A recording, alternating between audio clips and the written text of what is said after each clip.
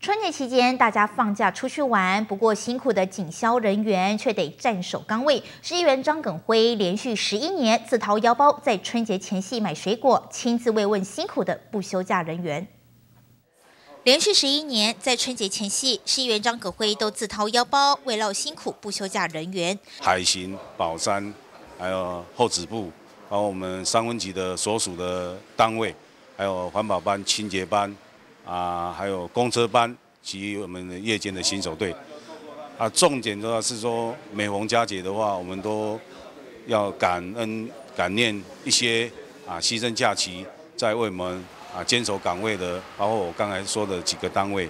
啊，所以说特别啊服务处特别，我个人特别自掏腰包，也连续十一年的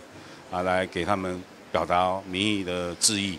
警三分局感谢张议员的关心，同时也提醒市民朋友，春节期间钱财不露白，确保安全。啊，我们感谢啊张耿会张议员啊，连续啊啊十十一年多来，哦，这是对地方啊非常的照顾，提领这个金额啊，大家过年期间呢比较提领金额啊，这个这个钱财的一种不露白。哦，大家高兴欢欢喜喜的过年。警方提醒民众出门旅游，门窗要关好。若有任何需要，都可以打一一零，请求警方协助巡逻。市议员张耿辉连续十一年连跑二十七个单位，提前向执勤人员贺杰，表达感激之意。记者蔡小军采访报道。